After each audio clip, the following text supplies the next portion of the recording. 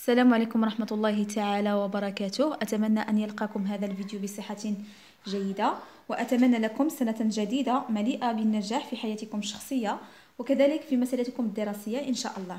إذا اليوم آه، سنقوم بدرس في مادة الرياضيات الأعداد الكسرية الجمع والطرح. إذا سنتعرف على الجمع عددين كسريين وكذلك طرح عددين كسريين. إذا نبدأ بجمع عددين كسريين. إذا لديكم هنا مثال. إذا لدينا أربعة على خمسة زائد اثنان على ستة. إذا قبل أن نقوم بجمع هذين العددين أولا نلاحظ مقاميهما. إذا لدينا خمسة وستة. إذا هذا المقامين غير موحدين بالتالي سنقوم أولا بتوحيد هاد المقامين. إذا نلاحظ المقام الأكبر ستة ليس مضاعف خمسة. إذا ستة ليست من مضاعفات خمسة بالتالي سنقوم بالقاعدة آه، قاعدة توحيد المقامات. إذن وذلك بضرب العدد الأول. أربعة على خمسة في المقام العدد الثاني أي في ستة. زائد العدد الثاني اثنان على ستة سنضربه في مقام العدد الأول أي في خمسة. ثم نقوم بالحساب. إذا تساوي أربعة في ستة أربعة وعشرون خمسة في ستة ثلاثون. زائد اثنان في خمسة عشرة على ستة في خمسة ثلاثون. إذا كما تلاحظون الآن لدينا مقام موحد الذي هو ثلاثون. بالتالي يمكننا جمع البسطين. إذا أربعة وعشرون زائد عشرة تساوي أربعة وعشرون زائد عشرة يساوي أربعة وثلاثون على ثلاثون. إذا الآن يجب آه، اختزال هذه النتيجة. إذا نلاحظ لدينا هنا في رقم الوحدات أربعة وفي المقام رقم وحدات صفر. بالتالي هذا العدد قابل للقسم على آه اثنان. إذا أربعة وثلاثون مقسومة على اثنان هي سبعة عشر. ثلاثون مقسوم على اثنان خمسة عشر. وهذا العدد الذي حصلنا عليه فهو مختزل. إذا نمر إلى المثال الثاني. وسنستعمل فيه الأعداد العشرية. إذا لدينا 0.6 على على 7.2 على واحد زائد عفوا 1.2 على 0.08 إذا أول شيء أقوم به هو إزالة الفواصل. إذا كيف سأزيل الفاصلة؟ إذا لدينا 0.6 على 7.2 إذا سأضرب في كم؟ سأضرب هنا البسط في 10 لأن لدي رقم واحد بعد الفاصلة. كذلك المقام آه، رقم واحد فاص... آه، رقم واحد عفوا بعد الفاصلة. إذا أيضا سأضرب في عشرة. زائد العدد الثاني.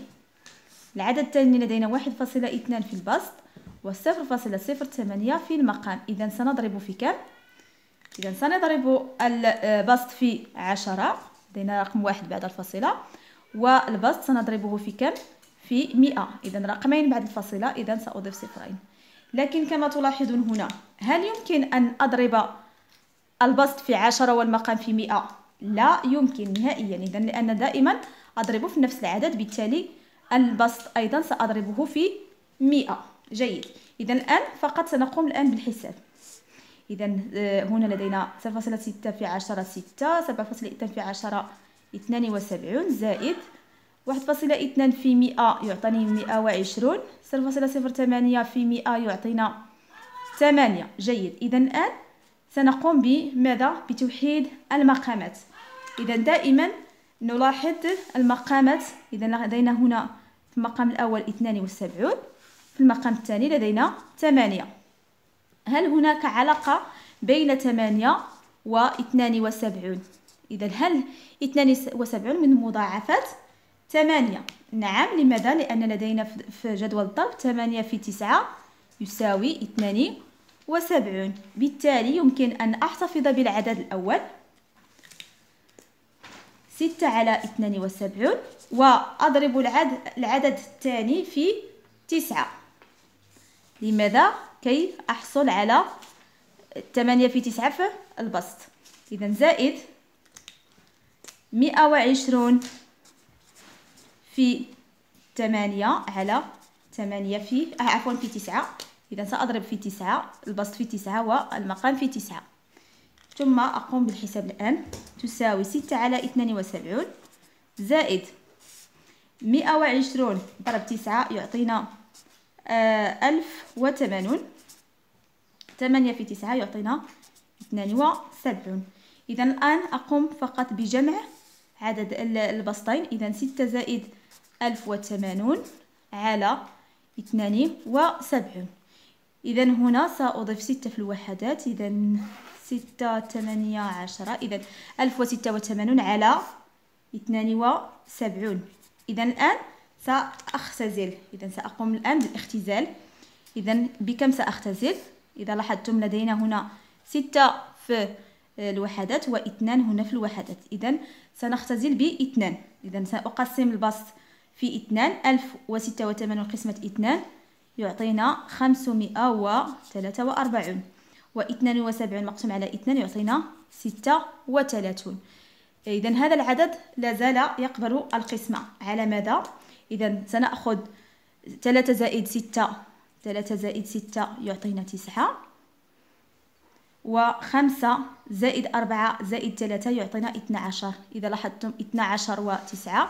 من مضاعفات ثلاثة. بالتالي سأقسم على ثلاثة. إذا خمسمائة وثلاثة وأربعون قسمة ثلاثة يعطينا آه، مئة وواحد وثمانون.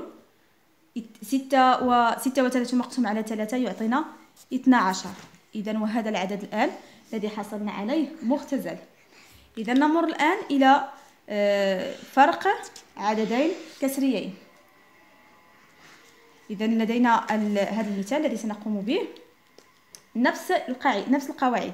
إذا فقط نغير إشارة زائد بناقص. سبعة وعشرون على اثنان ناقص ثمانية عشر على تسعة. إذا أول شيء نقوم به دائما هو توحيد المقامات. إذا سأضرب المقام العدد الأول. سبعة وعشرون على اثنان سأضربه في المقام العدد الثاني أي في تسعة.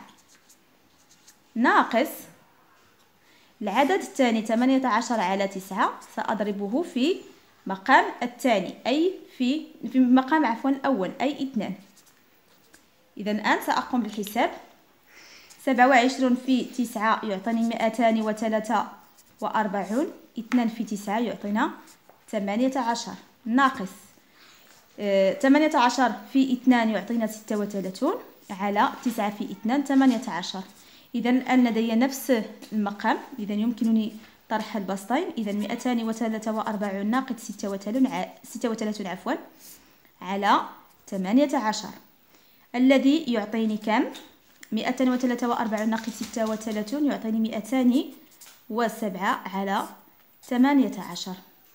إذا ونتأكد من آه، العدد هل هو مختزل إذا كما تلاحظون هنا سأقوم بجمع أرقام آه، الأعداد مثلا البسط إذا اثنان زائد صفر زائد سبعة يعطينا تسعة. وواحد زائد ثمانية يعطينا تسعة. إذا تسعة وتسعة من مضاعفة تسعة بالتالي يمكن أن أختزل بتسعة. إذا مئتان وسبعة مقسومة على تسعة يعطيني ثلاثة وعشرون. ثمانية عشر مقسوم على تسعة يعطيني اثنان. إذا فأحصل على ثلاثة وعشرون على اثنان. إذا ننتقل الآن إلى المثال الثاني والذي يحتوي على الفاصلة. إذا لدينا آه، واحد وثلاثون على اثنان واحد وثلاثون عفوا فاصلة اثنان على تسعة ناقص صفر فاصلة سبعة على صفر فاصلة ثلاثة. إذا ماذا سنفعل؟ أولا سنتخلص من الفواصل. إذا واحد وثلاثون فاصلة اثنان على تسعة. إذا سأضرب في كم؟ دائما نضرب البسط والمقام إذا لدي رقم واحد بعد الفاصلة إذا سأضرب في عشرة. في نفس الوقت سأضرب البسط المقام في عشرة. زائد ناقص عفوا ناقص صفر فاصلة سبعة على صفر فاصلة ثلاثة. مضروبة في كم؟ لدينا في رقم واحد بعد الفاصلة. إذا في عشرة. أيضا المقام رقم واحد بعد الفاصلة. إذا أضربه أيضا في عشرة. ثم أقوم بحساب الجداه إذا واحد وثلاثون في واحد وثلاثون فاصلة اثنان في عشرة يعطينا ثلاثمائة واثنى عشر على تسعون ناقص صفر فاصلة سبعة في عشرة هو سبعة على صفر فاصلة ثلاثة في عشرة هو ثلاثة.